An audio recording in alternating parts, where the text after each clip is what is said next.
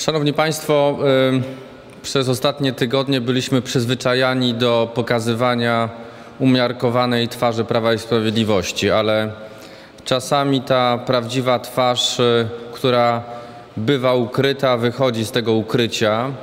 Dzisiaj mieliśmy do czynienia ze skandalicznym y, wpisem jednej z najbardziej znaczących posłanek Prawa i Sprawiedliwości. Wpisem, który w dużej mierze jest atakiem na niezależność dziennikarską, groźbą wobec niezależnego dziennikarza obsługującego Sejm.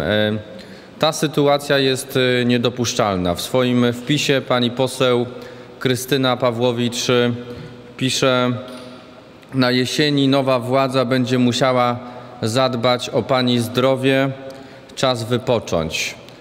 To pani Krystyna Pawłowicz zapowiada nową władzę, jej stosunek wobec obywateli, wobec niezależnych dziennikarzy. To nie po raz kolejny Prawo i Sprawiedliwość przypomina nam te ponure doświadczenie lat 2005-2007. Nie zgadzamy się na takie metody.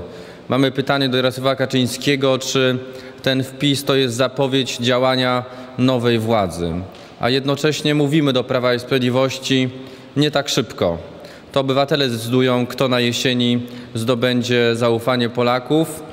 To także obywatele odpowiedzą sobie na pytanie, czy chcą takiej nowej władzy, nowej władzy, która nie szanuje niezależnych dziennikarzy, która grozi im, dokonuje ataku na ich niezależność.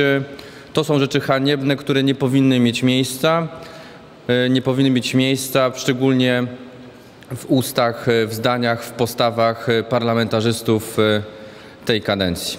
Dziękuję bardzo.